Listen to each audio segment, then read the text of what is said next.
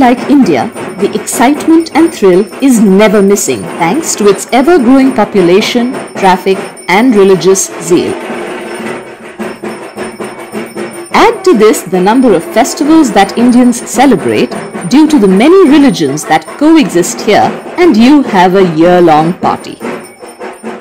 In Delhi, the area of CR Park or Chittaranjan Park turns into a mini Bengal during Pujo.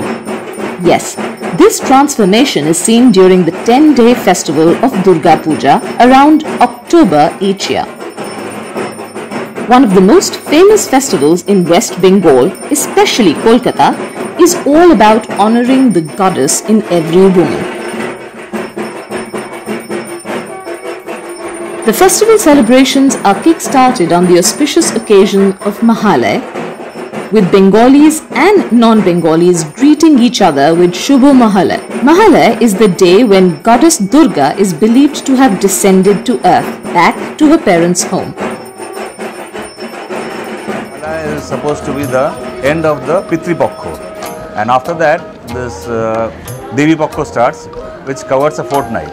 In this fortnight, from the first day after Mahalaya, from the this uh, Devi Pakho, the Durga Puja is started.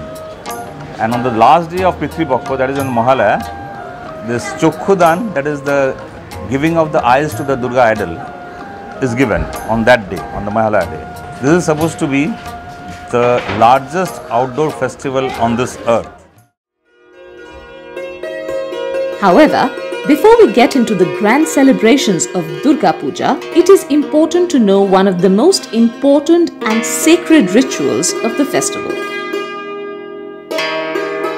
One such practice is that of using soil from the home of a sex worker to prepare the Durga idols. This is one of the ultimate ways of paying respect to women.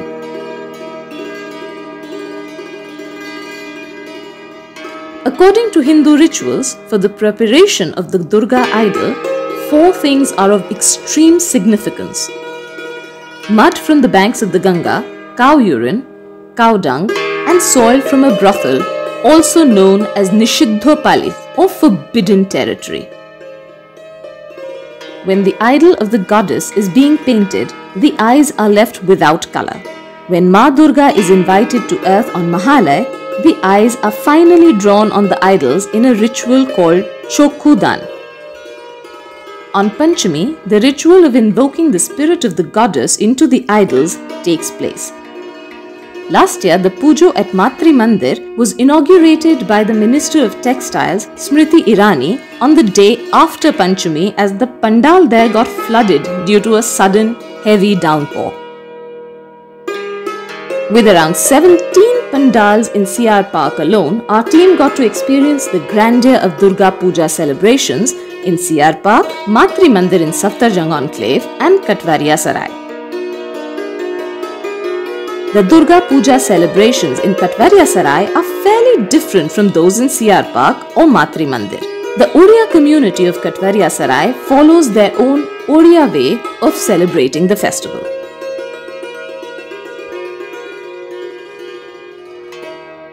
At every few meters during the days of the festivities, one finds stalls offering mouth-watering foods to satisfy cravings that take over after long walks from one pandal to another.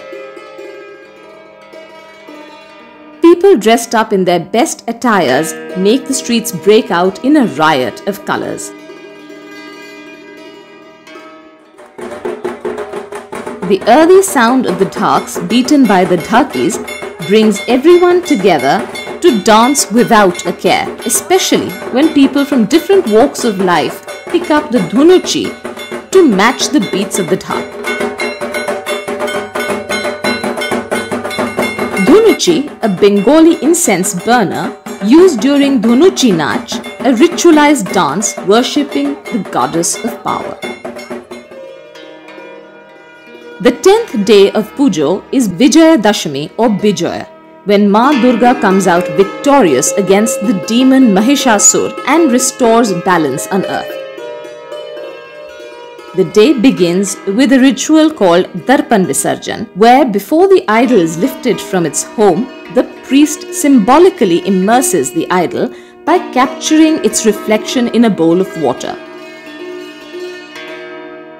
At this point, married women take their last darshan of the goddess reflected in a mirror, followed by Sindur Khela performed by women playfully smearing vermilion on each other. This tradition is celebrated by married women only, watched on by other women. Sindoor, the patriarchal symbol of marriage, becomes a symbol of sisterhood through two powerful dots. However, seeing women of different religions perform with the Bengalis fills one with a sense of unity. The idols are then carried to local rivers for immersion. CR Park Durga Puja Samiti arranged for a pond to be dug in the Mela ground in order to reduce pollution in the already polluted Yamuna River. The Maitri Mandir and Katwaria Sarai idols were also immersed in man-made ponds.